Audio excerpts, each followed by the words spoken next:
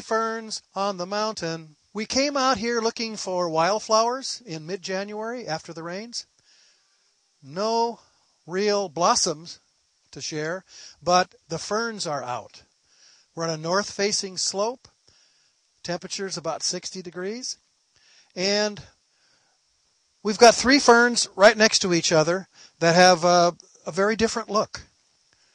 Ferns are without flowers. They reproduce with spores, no seeds.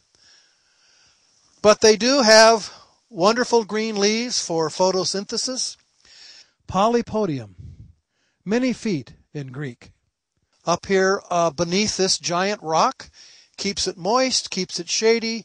We have a very happy fern. Underneath these little fronds or leaves are sporangia. Those are structures that produce spores. So all ferns produce spores.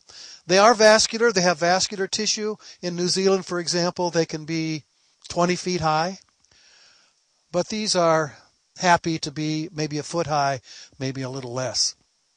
Just a little bit down from this fern is another fern.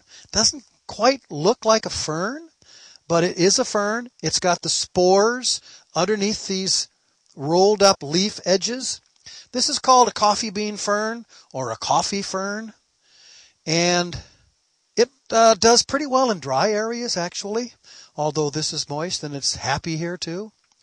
So this uh, coffee fern has a darker green. It's lighter underneath than um, than the top. Coffee fern. Just a little bit further down, we have a silverback fern. You can probably figure out why it's called a silverback fern. Underneath this fern, it's silver. So it's silver on the back, and that silver powder is actually spores, the reproductive structures of uh, this uh, fern. All ferns produce by spores, but they have a different spore look. So here's a spore produced plant, no flowers. But we're still happy to see the green of the ferns and their delicate leaves here on the hillside in the San Diego region.